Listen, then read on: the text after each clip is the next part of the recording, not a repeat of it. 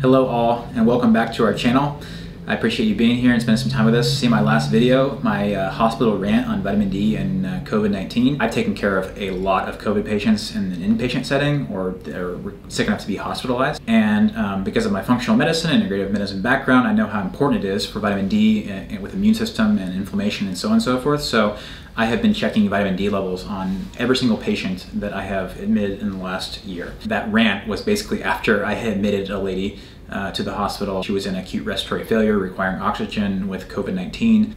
I, I, order on every single patient, I order, like I said, a vitamin D. Unfortunately, even if I order a stat, uh, which generally gets you results pretty quick, depending on what part of my 12 hour shift these patients are you know being admitted in um, i don't always have the labs back by the time my shift ends so i just happen to be looking uh, before i publish that video i happen to be looking at her lab after the fact and um, it was nine and uh, for those who don't know, vitamin D levels, generally we want them to be between 16 80 in my world and the functional world. Uh, from the conventional side, we generally want it to be above 30, and hers was 9. That uh, made me want to uh, really make this one of my next topics, even though um, I definitely want to lay the groundwork of functional medicine and, and, uh, and disease processes and stuff like that. I think this is an important time to pause and say, hey, let's talk about um, COVID And what I wanted to talk about are a series of papers that have been published over the past 12 months, um, and some of some are a little older uh, that have to do with how vitamin D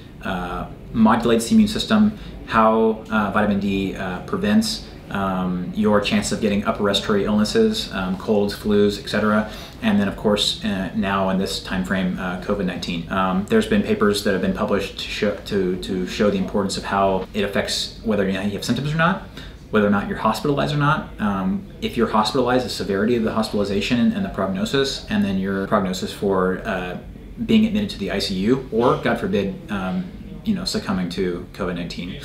So this is a, a, vitally important topic for all of us right now in the middle of the pandemic. Um, vital importance for us, probably pretty much for everyone all the time because we're you know matter no matter if COVID's in the in the environment or not, you know we're always you know affected by you know colds and flus and stuff like that. Um, and there's obviously far-reaching um, importance of vitamin D and, and how it affects you know bone metabolism, calcium metabolism, several other things, hormone metabolism, uh, testosterone, thyroid production.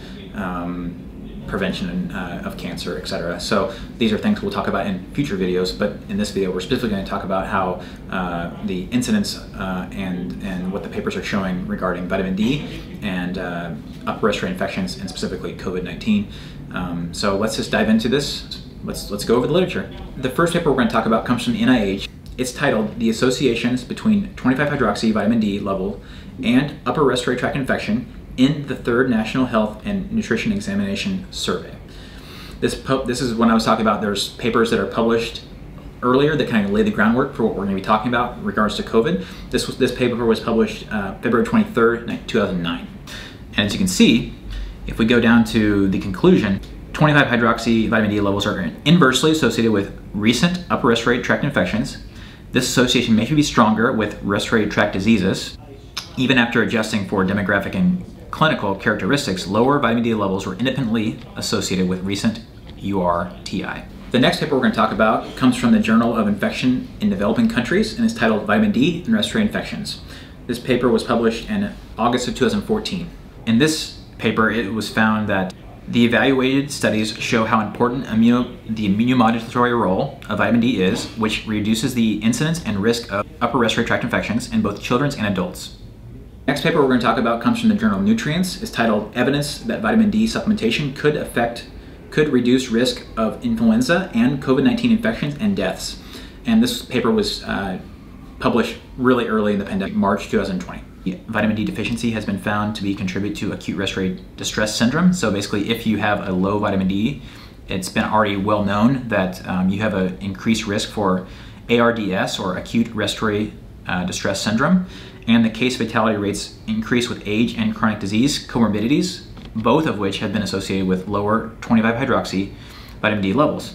To reduce the risk of infection, it is recommended that people at the risk for risk of influenza or COVID-19 consider taking 10,000 units of vitamin D. My personal recommendation is that you have a doctor that is able to follow your levels because we actually treat to the level.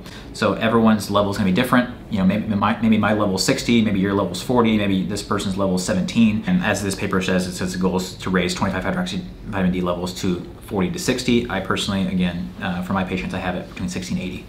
The next paper we're going to talk about comes from Critical Reviews in Food Science and Nutrition, and it's titled Vitamin D Deficiency Aggravates COVID-19, a Systemic Review and Meta-Analysis they identified 1,542 articles and selected 27 of them. Uh, vitamin D deficiency was not associated with a higher chance of infection by COVID-19. This is kind of a red herring, though, that being said, because if you look at the odds ratio, which uh, if it crosses one, it means that, that is not a significant finding. So actually their finding that is not associated with a higher chance of COVID-19 is actually false to say that because um, that, that data is poor data. However, when they looked at the risk for severe cases of COVID-19, 64% uh, more likely to have a severe case than a mild case if you have vitamin D deficiency, and that is good data because it doesn't cross one. Uh, vitamin D concentration uh, insufficiency increased the risk of hospitalization by 81% and mortality by 82%.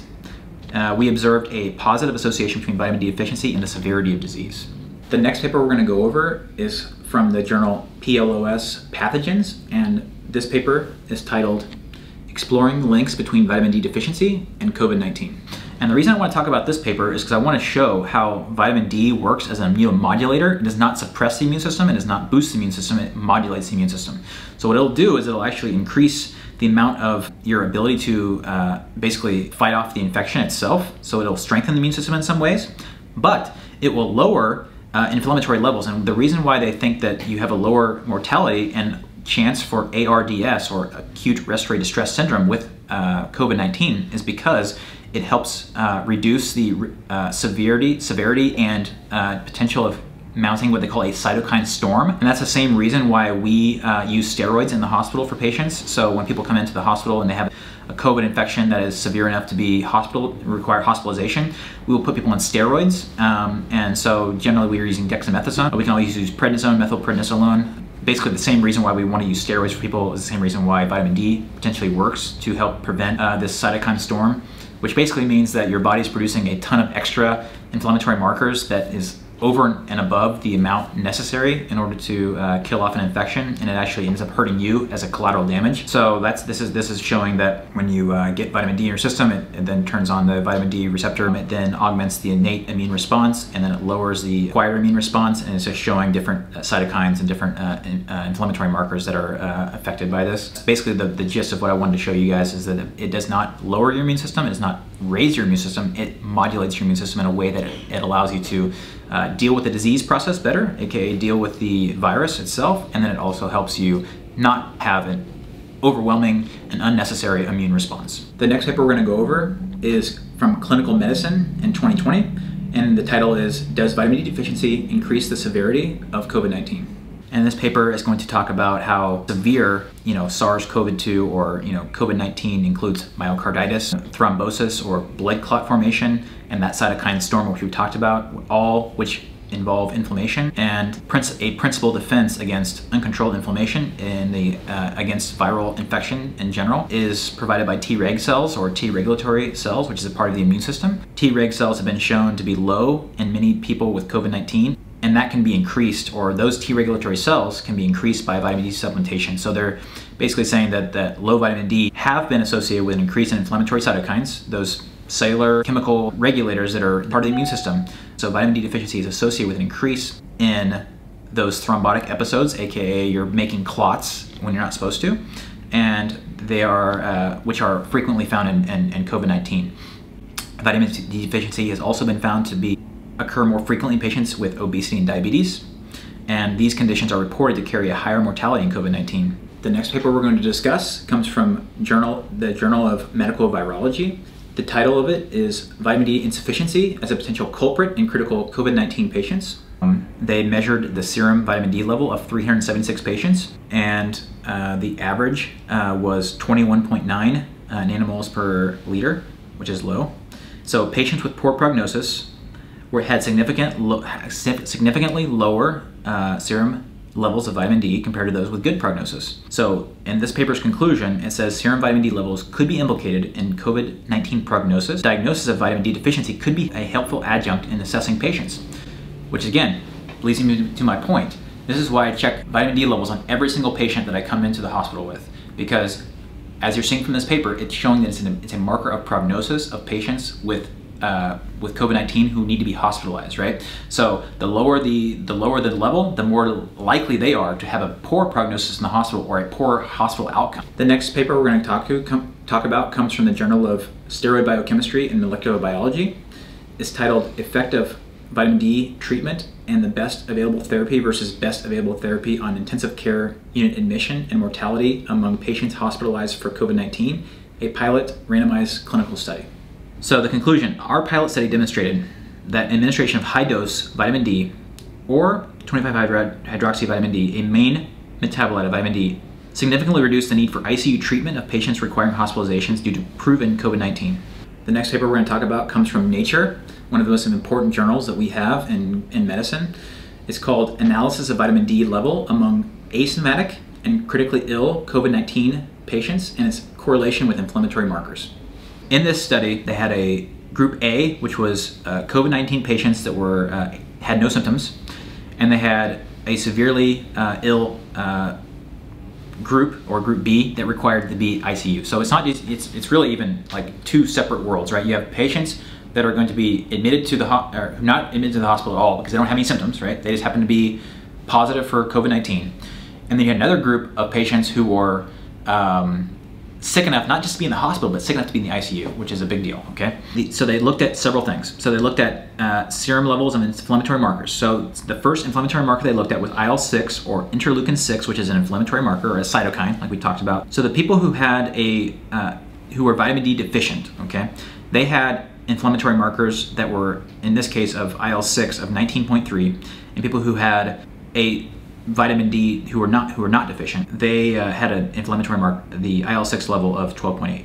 Serum ferritin, which is uh, a iron binding protein that we use to diagnose anemia, but also we use as an inflammatory marker. People who had vitamin D deficiency had a serum ferritin of 319, and people who had uh, vitamin D sufficiency had a, a, ferritin level of 186. The next inflammatory marker they looked at was TNF alpha, or necrosis factor alpha, and the people who had vitamin D deficiency had a, a level of 13.26, and the people who had uh, vitamin D sufficiency had a level of 11.87. And this is where the kicker is, okay? The fatality rate was high in vitamin D deficient patients, 21% fatality versus a 3.1% fatality. Vitamin D level is markedly low in severe COVID-19 patients. Inflammatory response is high in patients with vitamin D deficiency, in, in have, who have COVID. This all translates into an increased mortality in vitamin D deficient COVID-19 patients. This last paper is mind-blowing to me, okay?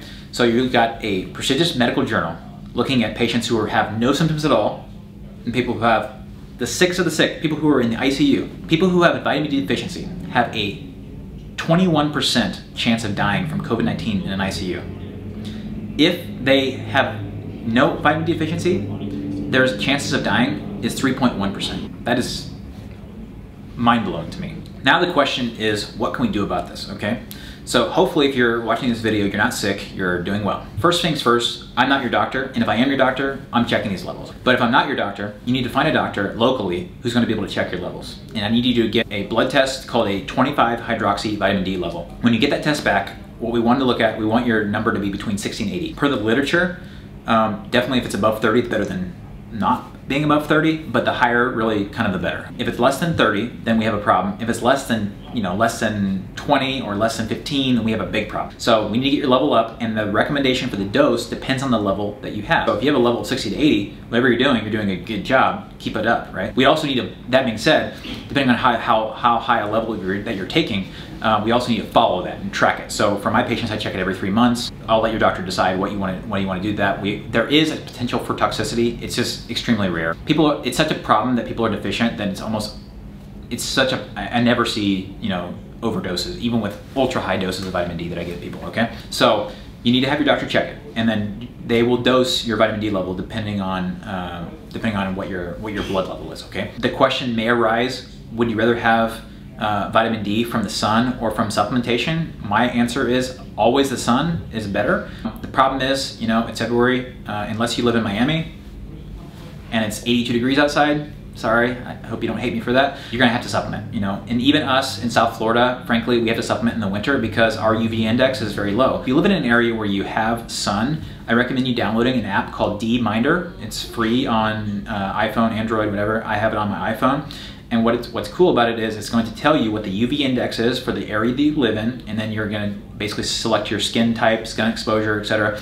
And you go outside, and it's going to and you push play or push on, and it's going to basically calculate how many units of vitamin D you're able to convert in your skin. But the bottom line is I want you to try to get sun if you can get sun. If you can't get sun, um, or even if you can get sun, you can't get adequate amounts of sun, aka the amount of dose that your doctor recommends that you need uh, for the level, the blood level that you have, then I recommend you supplement.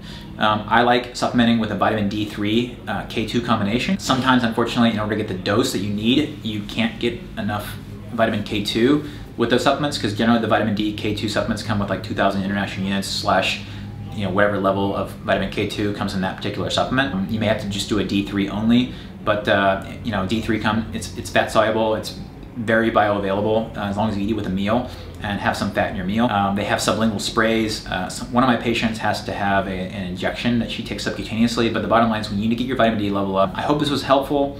If um, for whatever reason this was uh, long, too, too long, drawn out, you didn't like the papers, um, you thought I should do a whiteboard, something else that would be more interactive, I'd be happy to take suggestions. But just leave comments and see what you liked about it, what you didn't like, um, and how you know I can help uh, make content that helps you um, and your journey and health uh, better.